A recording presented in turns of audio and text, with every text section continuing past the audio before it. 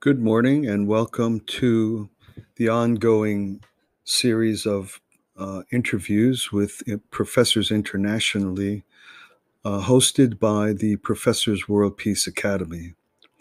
I'm Frank Kaufmann. I'm the director of the Professors World Peace Academy, and it's our great pleasure today to welcome for our interview series Professor Hanoch Ben Pazi. Professor Ben-Pazi is the chair of the Department of Jewish Philosophy at Bar Ilan University in Israel. Professor Ben-Pazi researches contemporary philosophy and modern Jewish thought. He especially has done a great deal of work in the philosophical writings and Jewish thought of Martin Buber, Franz Rosenzweig, Emmanuel Levinas, and Jacques Derrida. Professor Ben-Pazi writes on ethics, contemporary philosophy, and modern Jewish thought in the framework of religious studies and interreligious dialogue. One of his many works is, in, is the book Interpretation as Ethical Act, the hermeneutics of Emmanuel Levinas, and also the, the book Emmanuel Levinas, Educational Contract responsibility, hopefulness, and alliance. Please join me to welcome to our program Professor Hanoch Ben Pazi. Hello, Professor. Hi, Frank. Very good to have you. Thanks for coming on. Thank you.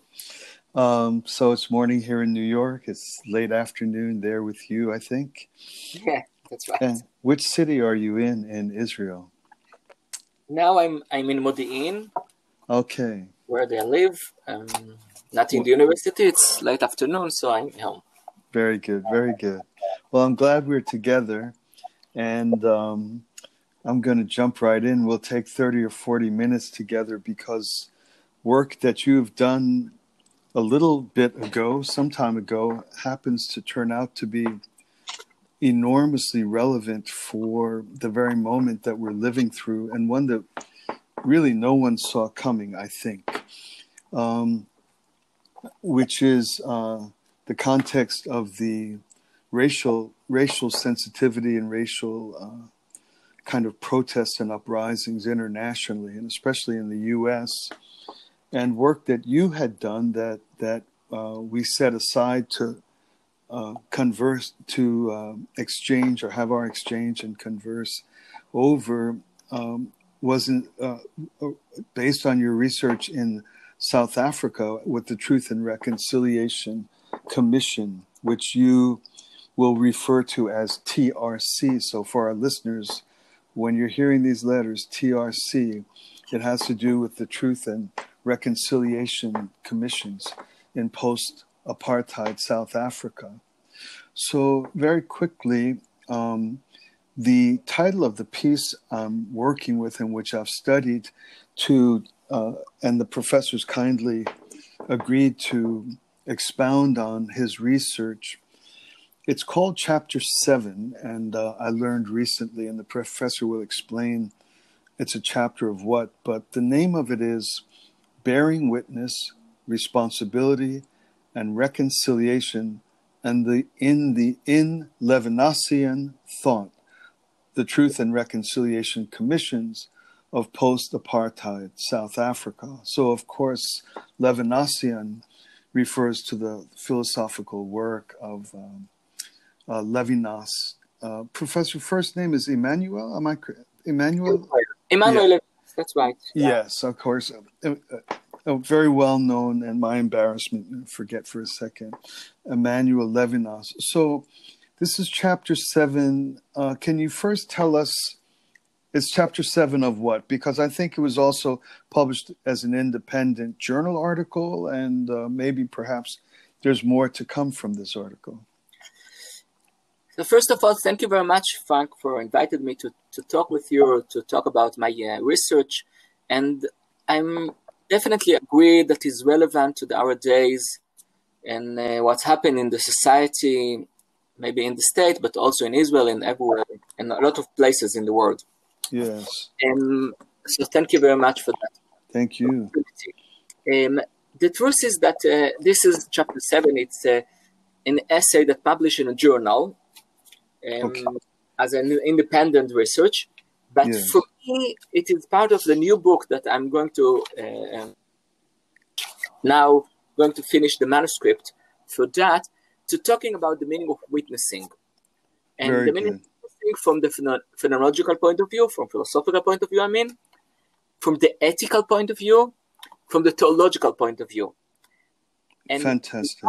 Helped one step to the other to think through this philosophical concept about a real problem in the politics, in the social environment, in the society, between people, between uh, countries. So, so even it's now just an essay, independent essay, independent research, it's going to be published in a great book about the meaning of witnessing. Fantastic. Well, we'll keep an eye on that, and we'll we will be involved in promoting that as soon as it's ready, um, and so the readers can uh, and listeners can keep an eye on this space so that we can keep an eye on your forthcoming work. Thank you. Yeah, I want to do a couple of things before really the stage is yours. And um, so the first thing I want to do is, and this is from prior conversation we've had, that the term witnessing per se uh, has a number of meanings, and uh, some of which we'll cover, some of which are not the meaning at all of what you'll be looking at and what what you've written in this particular essay. So there's a common use of the word witnessing, which which describes uh, uh, evangel- evangelizing, proselytizing testimony to one's faith. So one goes out on the street to witness, or I'm witnessing, I'm testifying to my faith. It's often associated with evangelical, Christian evangelical work to witness and to try to bring people to Christ. So that use of the word witnessing is not what you've considered and not, I believe, not under what we're discussing. There's other uses of the word to witness, which means to see something. Uh, I've witnessed an event. Uh, there's a noun to be called as a witness, in which you might be summoned to a court of law, or in this particular case, to the uh, to the uh, tribunal of the commissions, in which you are called as a witness, that you have to testify truthfully and honestly about what you know to be the facts of the case. That's those are closely related to witness, namely to see, and to be a witness, uh, to be called under oath or uh, under trust of some sort, to um, report what you've seen, and that has to be reliable. And um, finally, uh, oh, oh, and the other distinction was that, it, which you'll be able to help us with in a second. Um, there in the there in the the commissions, someone would be called as a witness. They might even be. It's almost confession. They they're reporting on their own deeds so they might be a perpetrator of misdeeds, and they are a they're a witness in the process. Or another person might have been a victim of the uh, the misdeeds or oppressions that arose out of the individual's action, and the um, or and the systems that were in place there. So so there's there in the situation in South Africa, and correct me uh, when I'm when we uh, release to you here uh, there witness telling of my own deeds, a witness telling of what I've been uh, subject to, and a witness in, in, that third use, in classical use of I've seen this, I testify this as the case. That's the third type.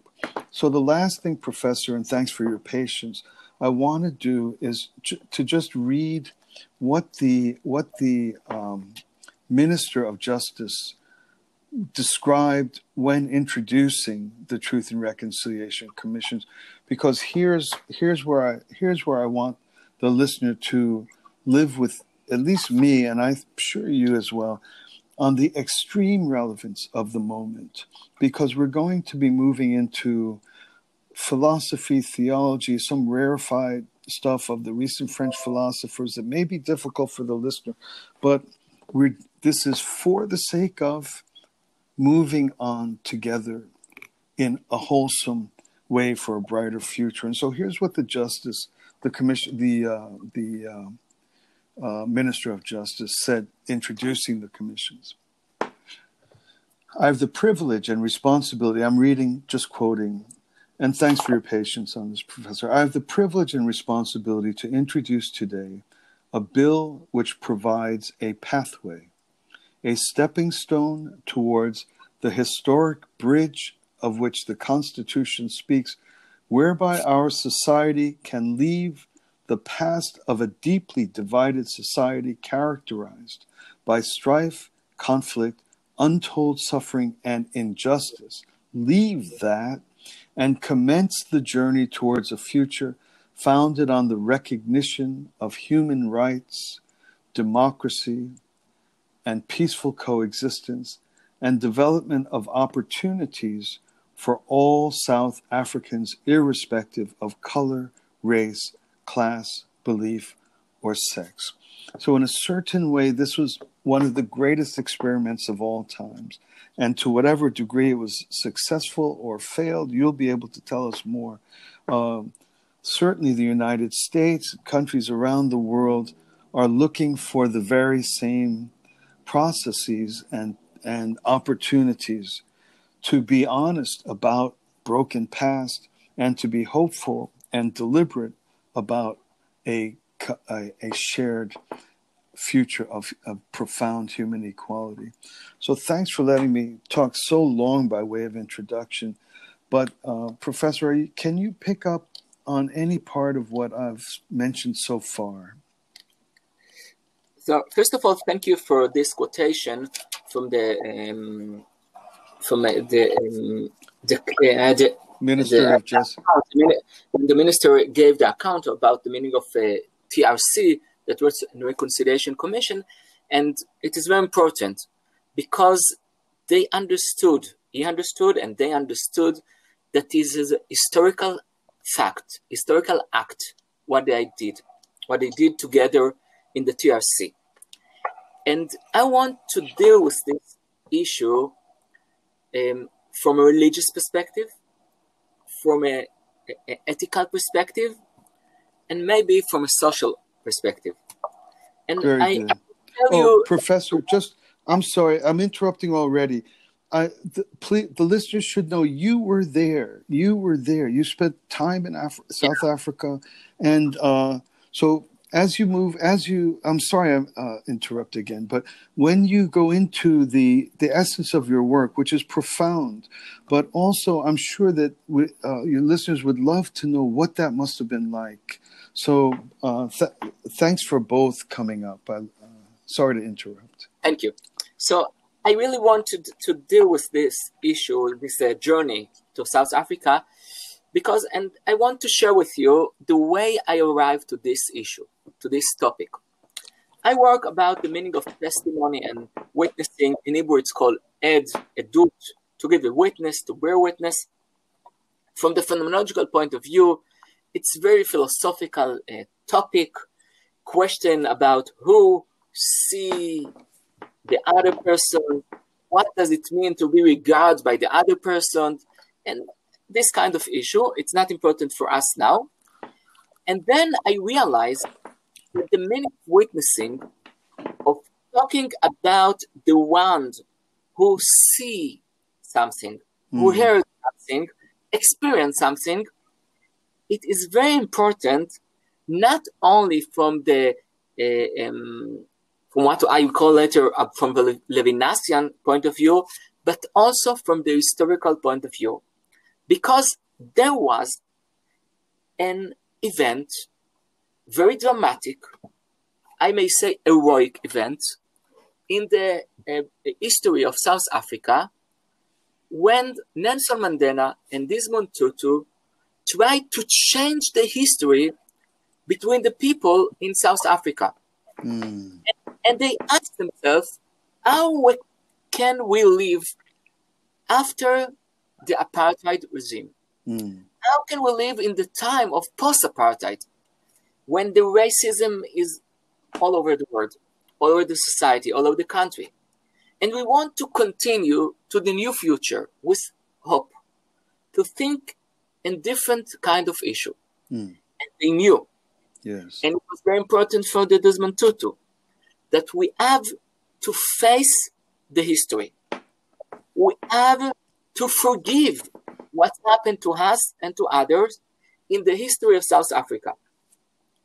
Desmond Tutu said, There is no future without forgiveness. Mm. And the truth, what's happened to me, and it's very interesting, not only for me, I think, that I read a lot before I arrived to, to South Africa. Mm-hmm. I read the volume of the TRC, seven very huge and difficult and deep, um, and and part of that is is really really difficult to read, to read what happened there Mm. between the people, between the races, between the police, police and the uh, and the um, all the, the citizens, and between the police and themselves. It is very very very, difficult to read it. hmm And I felt myself, oh, I know everything, and now I come to to South Africa to talk. I prepared this journey very very well, and I arrived to Johannesburg.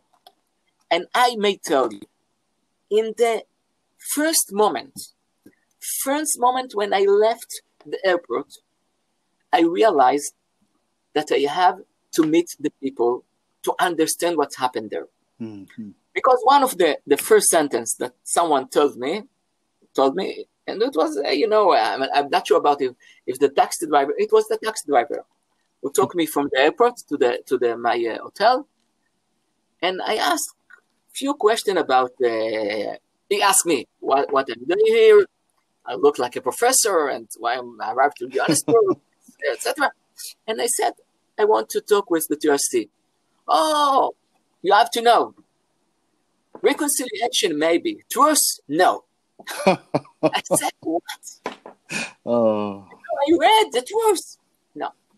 And then after a few sentences, we talk, continue to talk, and he said, you know, in a very uh, uh, special uh, um, accent, you know that for you, I I'm not sure why you think that I'm from the state at the beginning. I told him that I'm from Israel, but it's okay for me. and then he said, for you in the state, there is a PC, politically correct. No, no, here in South Africa, black is black, white is white. Don't talk like this. Mm. We have to deal with the race. And in this very simple conversation that I had between the airport to the, the hotel, I realized that I have to reframe all what I read before. hmm And because, and the truth is that it's very early to think what is the result of the TRC. It's only 25 years now. Yeah. I was There before uh, five years, 20 years. Because people still there. The people that, uh, the individuals, the person that came before the court, came before the committee, before the commissions, before the TRC, and they talked about what happened to them, what happened to the other people, what did they see, what did they hear, and they still there live with their enemies, but try to live together. hmm And for this point of view, I can talk about the TRC and the meaning witnessing. Because, and please uh, let me divide between what's happened in the TRC and Yeah. the way that Desmond Tutu, the Kibishov, Desmond Tutu thought about what's happened there. He is a religious leader. For him, it is very important that all he has done in the TRC was to give a witness before God about the equality, about humanity, about the belief in the future, belief between people. And for him, all this event has a religious meaning.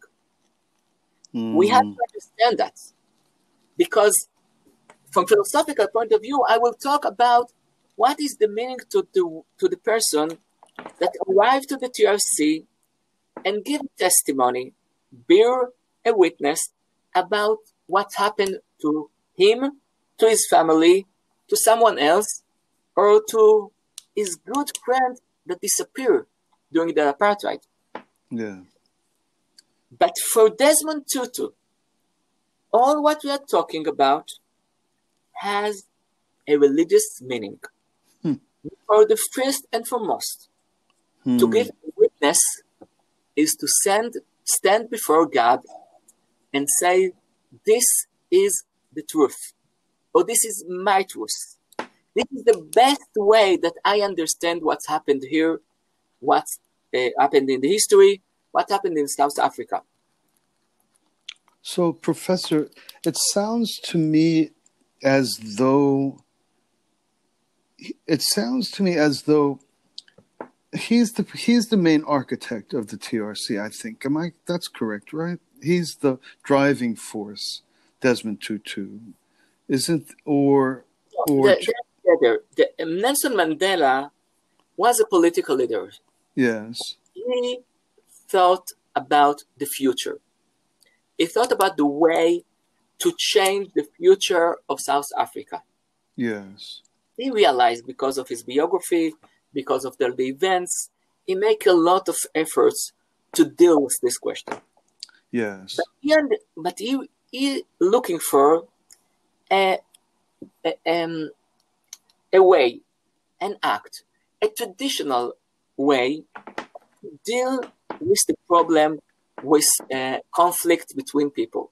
yes, It took a very traditional African um, act that you don't take the people to the court, but you give testimony, witnessing about what happened. You told about your side, the other per- uh, person talk about his side, and then because you gave a witness, hmm that's enough. That's enough. We know what's happened, and now we can continue on. But and arrived to Desmond Tutu, Yeah, Tutu was a Christian tradition.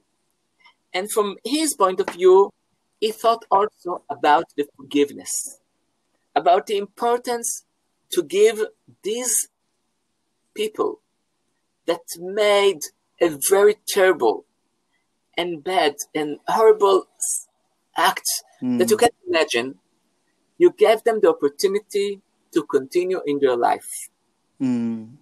for Desmond Tutu, forgiveness was the most important uh, accurate uh, um, act in all the TRC. Yes. This is so fascinating. I, I realize now, just in your last three sentences, that there's actually a thousand books to be written on this. Every every inch of it, uh, the the touch point between political purposes and spiritual purposes, and the integration of like something as spiritual as forgiveness. How vital is that to just purely political calculations.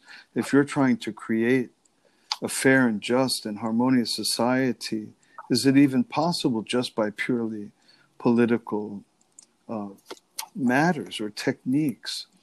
Uh, so that the relationship between these two men and the their the inner the inner mind with which they agreed to collaborate for the creation of these commissions itself is fascinating. Um, is this uh, how do you, what do you? I, I, want to, to continue with your talk. mhm.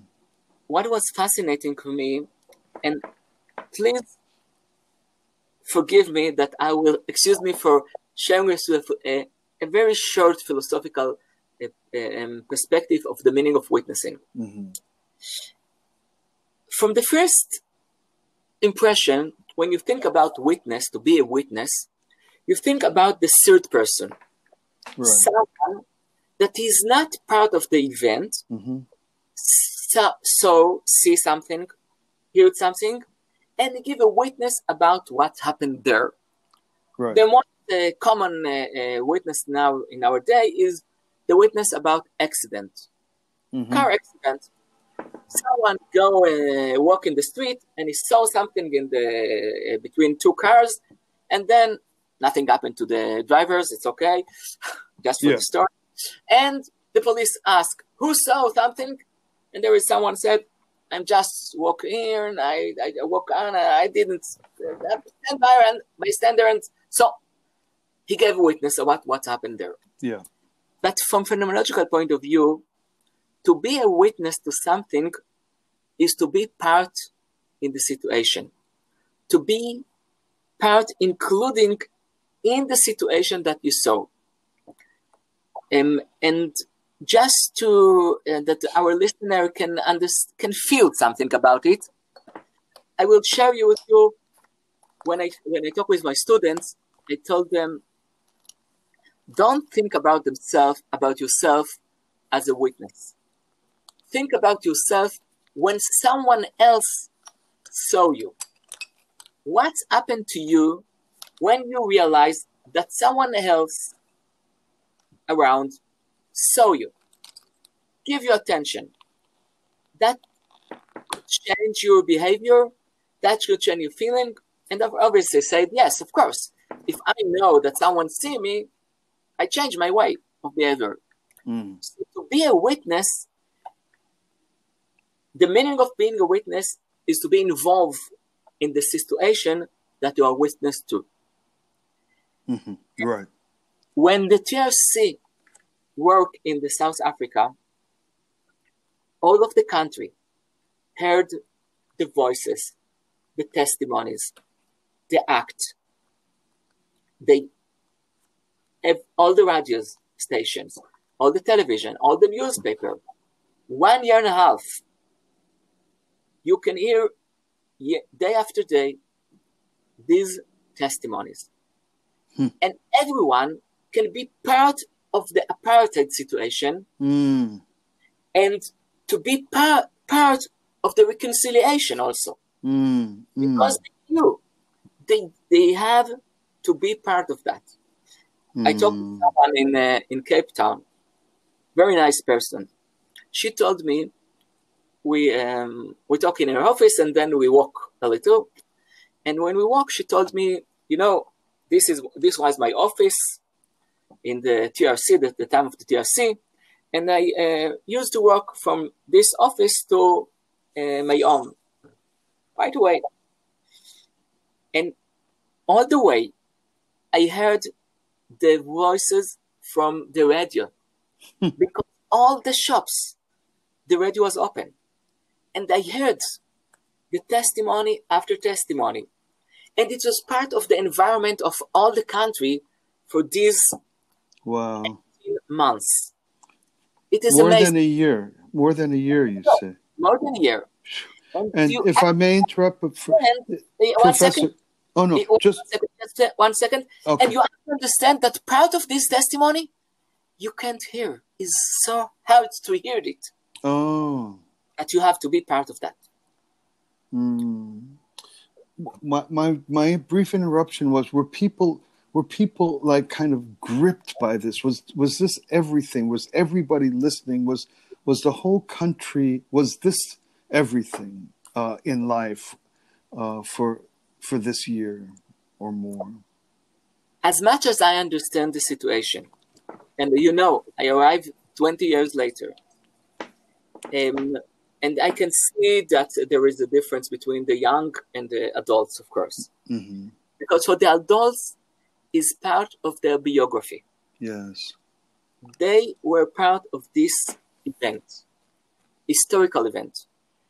And for not a lot of them, but for few of them, they felt that this is not only an historical event in the life of South Africa, but historical event in the life of the world, of all humanity. it is yes They construct a new way of deal with a political conflict between people in the most uh, extreme situation of the Right. apartheid right between the races, between the black and the white and the colors. And what happened there that they have to, you know, you may you may say that the best way is to close your eyes, look forward, and say, the past is not important. I want to talk about the future. And Desmond Tutu and Nelson Mandela require, require them to listen Mm. to what happened there. Mm. You know, when I think about the situation now in uh, Europe, in the state, in Israel, I said, do we have the courage to do that? yeah, do that's right. That? Mm. Uh, or just the fortitude, just the just the endurance, the, the physical endurance to to do this as a world, uh, as the South Africans did. and, and you know, um, there were I, I have- I have a lot of experience from the from the uh, this journey to South Africa. And I'm so glad. Thank you very much for taking me back to South Africa. What happened there? Mm. Because it was very uh, intensive time for me there. I have a lot of meetings and between people, um, just for um, for uh, um, pictures this issue. I arrived to the um, to, to someone. She's a social worker in uh, in Johannesburg. She worked with the people um, in the small uh, um, small neighborhood in Johannesburg. Johannesburg is not a very easy uh, um, city until today. Mm. And we talk about, and she told me, you know, that a lot of the people, um, you have to you have to know, there are a lot of people that didn't agree to give witnessing, to give testimony before the TRC, Hmm. and they are really sorry about it. Oh, All their life, they feel that they missed something. mm. they wanted to give a testimony and they're afraid to do that not only about what happened to them but about acts that they did Oh. they did against other people Mm. because someone was a policeman and you don't have to imagine to guess what does it mean to be a policeman in this uh, the, the regime of the apartheid Right. and he is still sorry about the situation. He regrets that he didn't give a testimony. So she worked with him. She worked with other people. And at the end of this uh, uh, meeting, she um, she asked me, uh, Ben Paz, um, um, she called me Hanoch. Hanok. Hanok. My name is Hanoch. And, uh, and all the people that can uh, uh, say it, she said, um, Hanoch, Hanok. Can you? I I made a good word for you. I said you were wonderful. I'm so thank you very much. So now you will do what I ask you to do. okay? You will go to visit the jail of the apartheid regime. And I said, okay, if you ask me to do, no, because I want you to be there. And I asked my friend in the jail, in the prisoner, in the prison, to see, to, to show you the uh, um, the places, the rooms in these places, in the violence that have been there. And I went there. Her friend, uh, her friend waited for me, and took me uh, to a small visit, very short visit. You know, just because she asked me to do it, so I'll do that for you. It's okay. Mm. And it took me one room to the other, and I was shocked. What is the meaning of this? That I was shocked. Mm.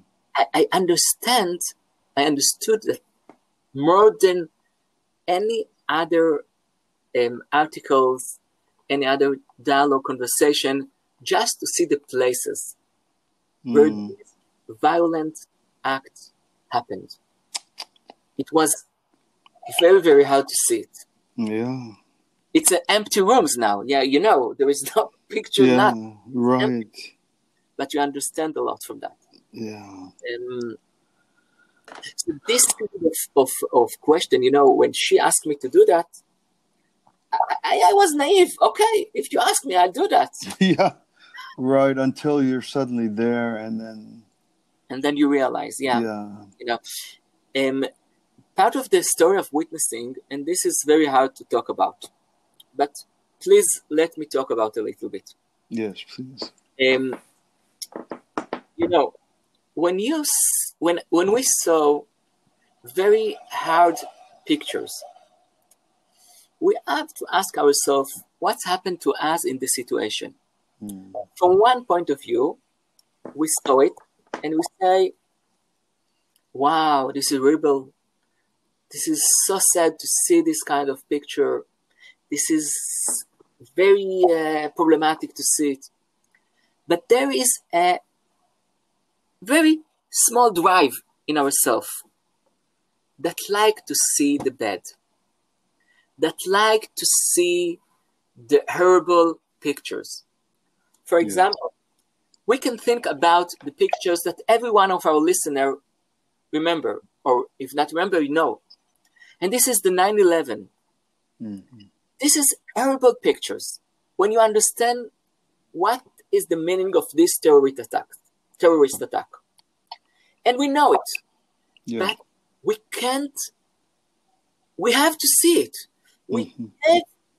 we, we, we, we feel that we have to see this kind of, of event. And we ask ourselves why. Mm. And this is part of the, what the, the, the phenomenology of witness um, can explain us that we have to deal not with what happened there, what happened inside our ourselves. Mm-hmm. What is the deep meaning of this drive that let us, that ask us to take this kind of picture and say, oh, it's so sad to see these pictures. Yeah. This image, this image of the plane, what happened there? Yeah. But part of the situation of witnessing is not only to deal with the history, biography, is also to deal with ourselves, mm. with the deep bit of our personality, our character, the different aspect of our character, our personality, and to face it and to understand that this is part of the story that we have to deal with. Yes. For and, Levinas, and if mm. I want to add Levinas to the, our conversation, for Levinas, this is the meaning of responsibility. Mm. We have to take responsibility to what we have witnessed to, what we heard, what we did, and then we can continue to deal with the ethical problems, the ethical issues in our life. Yeah. And if I'm if I'm not mistaken, and I'm guessing here, I've I've read I've read the philosophy, but it, it he almost manages to conflate morality and ontology because you describe the the act of witnessing as it's participatory in so like the example you gave your students if you know you're being watched hasn't that impacted your behavior? So the witness is actually a participant and it, that that's just an ontological or matter of logic just by describing the fact. And yet and that draw that that definition as participant carries with it responsibility for the event. Is do do i catch anything there uh, in the you are philosophy? right. Because when we talk about ontology we talk about uh, facts what's happened mm-hmm. here what's happened there what is what we what is uh, what is the being what is the non-being but for Levinas, the fact that you saw something, that I saw something, um, has an ethical meaning. Mm-hmm. That I have to bear witness to this issue, to this mm-hmm. act, to this person. Yes. And for Levinas, the involvement of the other person in my life, because I saw him, make me responsible for him, for his desire, Yeah. for his need, from from his means. I need to do something for him. Yeah. And here it is very important, and this is the way that I, when I try to think about the the TRC on on its, on our political issues, on social issues, I realize that when I think about the situation, not from uh, the outsider, but from the insider, from the person that involved in the situation, I, I, I may understand what is the meaning of responsibility that I have. I ca- there is a very famous play that uh, uh, play of words that uh, uh, Levinas in uh, French, but we can do, also do it in English. What is the meaning of responsibility? Responsibility. Mm. When you Mm. have the ability to respond, you have the responsibility. Mm. When someone Mm. you in his need, in his word, in his asking, and you hear it. Ipso facto, you are responsible for him. Yeah. Ipso facto for this situation that you saw the other person as the other make you a subject that is responsible to the other person. hmm And here, the ethical point of view is very demanded, as you can understand. Right.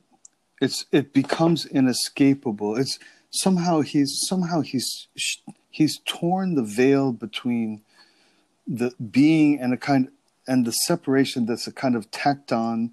And and independently of that we also have moral responsibilities. It's not an also anymore with levinas. It's it's folded into being and morality are a simultaneous uh, I, I- can I can follow your your sentence. Wonderful sentence. Thank you very much.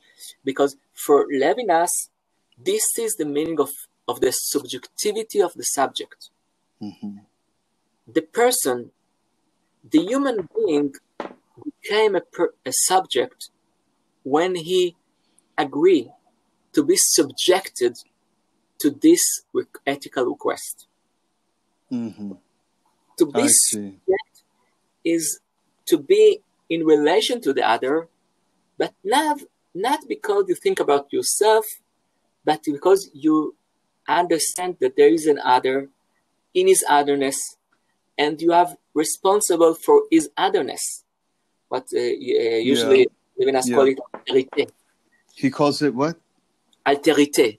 okay uh-huh. Otherness, alterity. Yeah. Or, Yeah, yeah, I'll tell you. too. So Mhm. for Levinas, this is a um, very uh, uh, uh, important act, to, not act, the important uh, um, understanding of human being that is responsible for the other. And I want to, um, may I, I share uh, uh, another point in this issue? Yes, please. And and soon we're soon we're uh, out of time, but uh, Wow. please, please uh, carry on. You know, Levinas, Emmanuel Levinas, um, was a philosopher of the the uh, second half of the 20th century, Yes. and he asked and he asked for uh, the, for the for his readers, for his listener, what is the meaning of be a person, a human being, in the second half of 20th century? 20th century? Mm. We have to ask ourselves about these two great war, world war, right. after the Holocaust, after the apartheid, after Yeah. what happened in uh, in Japan, what, what happened in a lot of places in the world, Yes. and a lot of names, you know, Rwanda, Auschwitz, uh, Biafra. We have a lot of names of places that is Mhm. very hard to hear about. Yes. And then you think we have to return, to come back to the elementary re- uh, uh, relation between people. And when you return to the, f- the first step, the first step is between one and the other person, between me and the other, between the other and the third person. And when we think about this meeting, relation, we will understand again what is the meaning of subjectivity of the subject, not because he wanted to be the best, but because he wanted to be responsible for other people. Yeah. How great. How great. Professor, as as we conclude, I wonder if you might not uh, help us here. Every, I think, every conscientious person alive is wanting to wanting to be a part of responding well, even if we are not aware of ourselves as having any culpability in the race problems, and uh, and we're witnessing we we're witnessing a kind of an upheaval of sorts. Can you blend somehow this this wisdom of the witness in a word that might be helpful for just your average person, and that's all of us really, uh, in the moment? I, I may say that one of the questions when you when you realize the meaning of witnessing in your life, the next question and it's very crucial question how can i deal with this responsibility? Yes. In one aspect it's to go to the court and bear witness about what's happened. In the other is to take your life and being witness and to do something to make your society better mm-hmm. to make the life of the other person better but for levinas the glory of the witness is because when you understand the deep meaning of this responsibility, this is the way that you you live a place for God to be part of your life. I see. Mm. when you are bearing witness to the other person, you gave a witness to glorification, to the glory of the God in our life. Yeah. And um, in Hebrew, there is a very nice name, Tehilat Ha'edut. It's like uh, uh, Tehillah is like the Hallelujah. Mm-hmm. It's the glory of the God when you gave the witness to the other person is in his otherness, to the other people in their otherness. Fantastic. the way we have to deal with that question. It's fantastic, fantastic. I can't think of a I can't think of a more perfect way to end uh, either we go on forever or we have to pick some moment and uh, and that is that's the perfect one so can you give the can you give the uh, hebrew and the english one last time and then uh, and then we'll say goodbye. How what are the terms again please? Tehilat ha'edut. The glory mm. of the witnessing.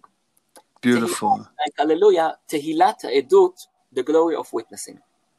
Thank you so much for inviting me to this uh, conversation. It was wonderful dialogue and a wonderful time with you. Thank you. Well, thank you for giving us all a lot to think about and a lot to work with. I look forward to a future time again, Professor. Thanks for being with us today. Thank you very much. Okay, bye bye. Bye bye.